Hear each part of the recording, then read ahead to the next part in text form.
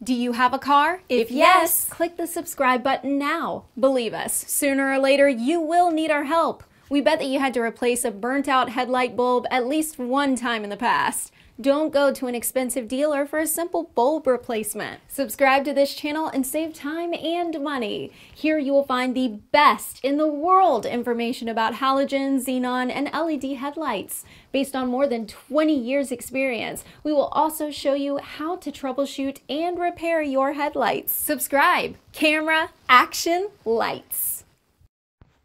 Hi guys, today I will make a short video about the headlight leveling system of the Opel Vectra C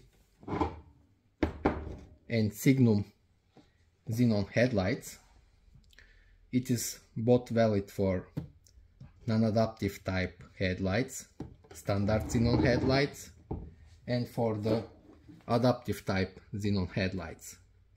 The system is basically the same, the parts are different.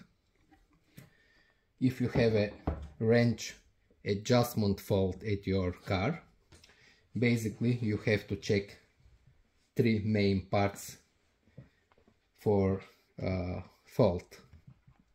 Although there are many reasons that can cause a range adjustment fault some of them are mechanical damage no supply voltage interrupted data cable or just control unit if replace is not coded. But the main three reasons are the headlight leveling motor fault control unit fault which is known also as, as range adjustment control unit or the sensor faults. Most of the time if not any wiring issue one of these three parts is faulty if you have a range adjustment fault at your cut and range adjustment fault uh, signal at your dashboard. Basically I will show you how this system operates.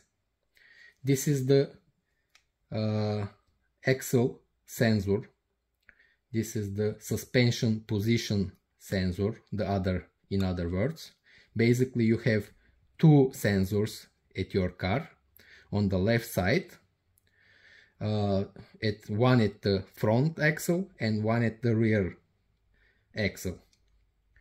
These uh, sensors collect the data about the vehicle load and pitching and sends the data to the control unit range control control unit in at Opel it's named as HLL control unit for non-adaptive types and IFL control unit for adaptive type headlights.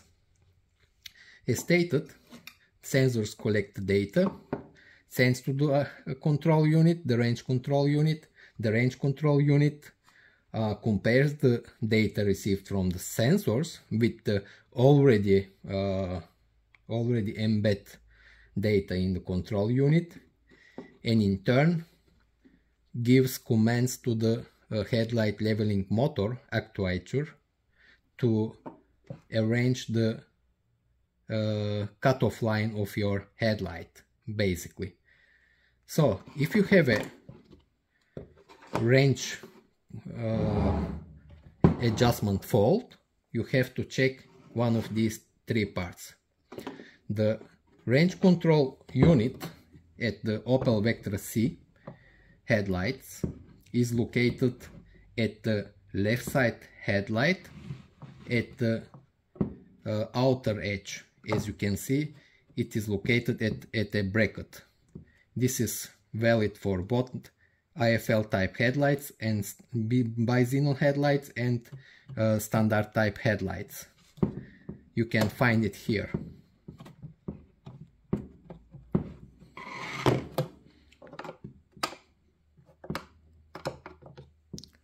let me take the correct Torx you will need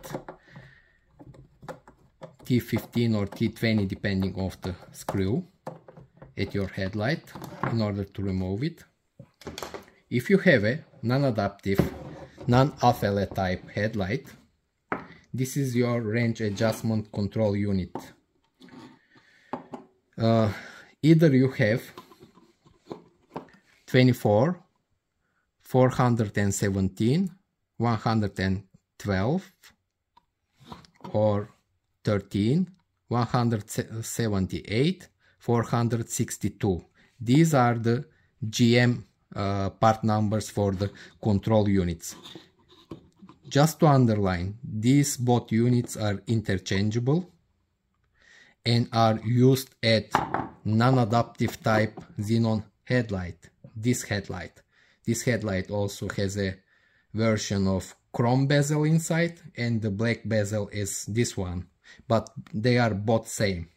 So, if you have a range adjustment fault, you have to check the, first you have to check the uh, sensors, the control unit range adjustment, or the headlight leveling motor which is located under the small cover here as you can see the headlight actuator which is commanded by the uh, control unit range control uh, unit is located here if you want to check basically most of the time they are uh, burned due to the moisture condensation and water egress issues.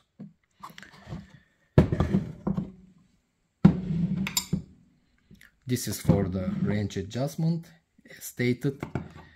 After checking the range adjustment or actuator motor, step motor or the control unit, you have to also check the sensors. They are located at the rear and the front axle. Uh, as a rule of thumb, the first thing that you have to look at the sensors and the control units are the plugs. These ones are very clear. You have to check whether you have a uh, oxidation there, some kind of uh, water ingress marks or etc. If these uh, parts get some moisture or water, they are uh, burned. They are getting burned. So this is all I can say for the range adjustment fault uh, issue. If you don't have a Tech 2 diagnostic